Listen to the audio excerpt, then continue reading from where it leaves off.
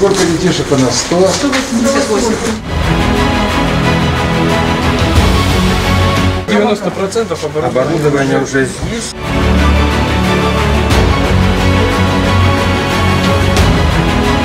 Валовый сбор превысил 5 миллионов тонн.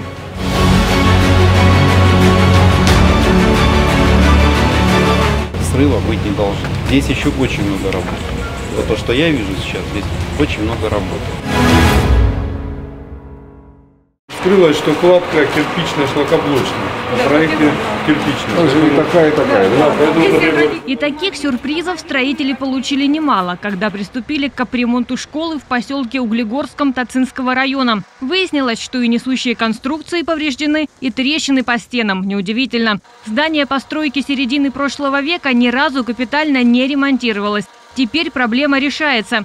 Сюда по распоряжению губернатора из областного бюджета направлено больше 106 миллионов рублей. С ходом работ Василий Голубев знакомится лично.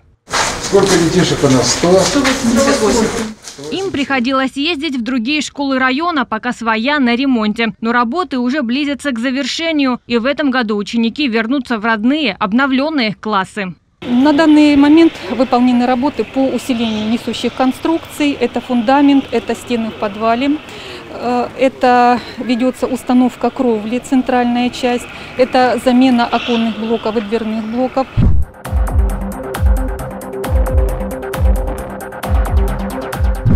Это помещение, оно практически, они практически на 90% оборудования. Оборудование уже здесь. И, и вот и, и там стоматологическая установка. Сейчас подъедут еще котлы газовые. Тацинский район получит в этом году и новую поликлинику – модульную. Ее установка на территории ЦРБ в финальной стадии. 90% готовности и уже завезено оборудование.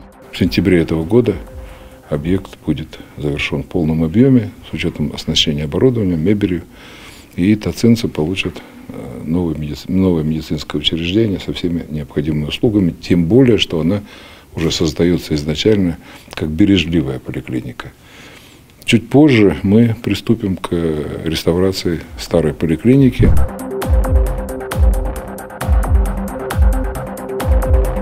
Дворец спорта в Белой Калитве уже вышел из капремонта. Зданию потребовалось основательное укрепление. На строительно-монтажные работы из областного бюджета выделено 290 миллионов рублей, еще 50 с половиной на закупку оборудования. Качество работы и спортинвентаря проверяет глава региона.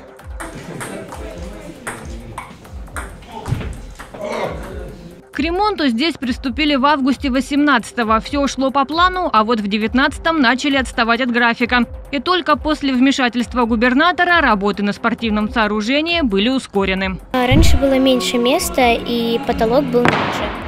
Э, Нужно было зеркало, чтобы э, ну, смотреть, есть ли растяжка или нет.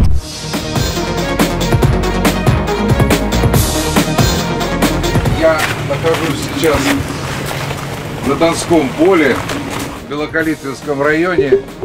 Вот сзади меня идет уборка урожая. О ходе уборочной кампании Василий Голубев докладывает министру сельского хозяйства страны Дмитрию Патрушеву. На Дону уже обмолочена почти половина площадей зерновых и зернобобовых культур. Валовый сбор превысил 5 миллионов тонн. По качеству 90% собранного э, зерна – это третий и четвертый класс.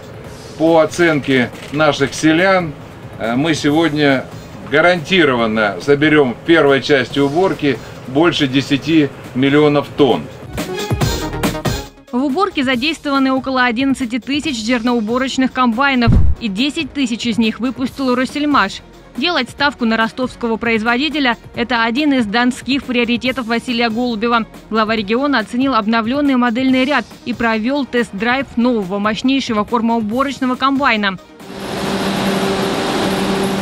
Лучшим в труде были вручены государственные и областные награды. Ближайшие пять лет Россельмаш планирует инвестировать в развитие производства около 17 миллиардов рублей. Новые проекты дадут 500 рабочих мест. В марте следующего года будет заложен первый камень нового тракторного завода. Региональные меры поддержки остаются, и совсем недавно мы их модернизировали, добавили поддержку для тех, кто покупает трактора, произведенные на заводе. Вот за последние несколько лет э, за счет региональных мер поддержки 2000 комбайнов приобрели селяне Ростовской области. А сегодня эти комбайны убирают неплохой урожай.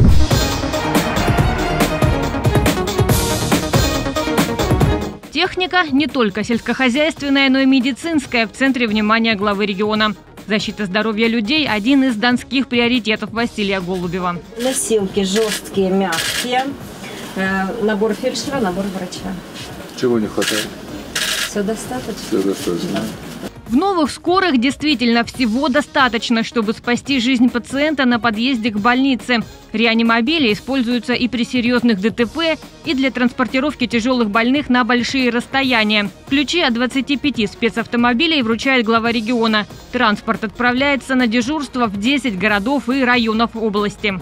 Сам автомобиль, он достаточно просторный, высокий потолок, то есть позволяет и медицинскому персоналу там, в общем-то, э, себя очень комфортно чувствовать и подходить со всех сторон пострадавшему.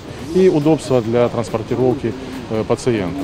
Работа по замене медтранспорта будет продолжена. Деньги на эти цели предусмотрены в областном бюджете. Кроме того, жители региона в губернаторском проекте «Народный совет» проголосовали за новые скорые. И теперь на их закупку дополнительно направлено больше 200 миллионов рублей.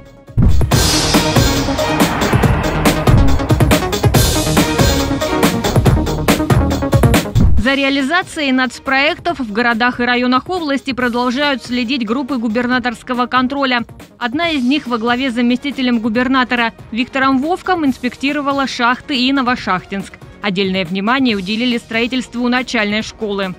Здесь еще очень много работы. Вот то, что я вижу сейчас, здесь очень много работы. И для того, чтобы даже завершить в ноябре, нужно очень серьезно работать и трудиться. Сколько человек сейчас настроено? 40 человек. Это вам мало. Подрядчикам ускориться, местной администрации брать объект на контроль, требует Виктор Вовк. И обещает пристально следить за строительством. Группы контроля – инициатива губернатора. Такие визиты позволяют отслеживать реализацию важнейших инфраструктурных и социальных объектов на Дону.